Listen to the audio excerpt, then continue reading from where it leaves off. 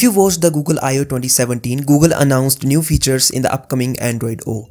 One of those features included notification dots. So basically, whenever you get a notification on any particular app, you will see a dot on the app's icon. This dot will show you that there is a notification or a new message in that particular application. So to get the new notification dots feature of Android O in your Android device, despite the fact that you don't have any Nexus or Pixel phone to run Android O, just install the latest beta version of Nova Launcher as we all know that every new feature that Google adds in its latest Android version is added in the latest beta version of Nova Launcher by the developers of this amazing Android launcher.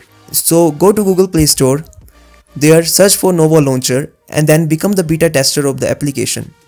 In case you don't want to go through this long procedure, there is a direct download link in description as well. So once you have downloaded the APK, install it. In case you get unknown sources error, turn on unknown sources from settings and security. Once you have done that, just install the application and once installed, set it as your default launcher.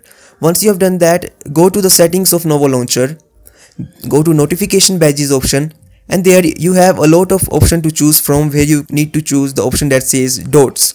Tap on it and it might ask for accessibility permission so grant it accessibility permission.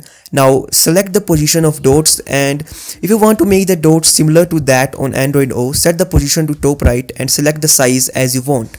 Well that's it now, whenever you get a new notification, the particular app icon will get a dot suggesting that there are, there are new notifications.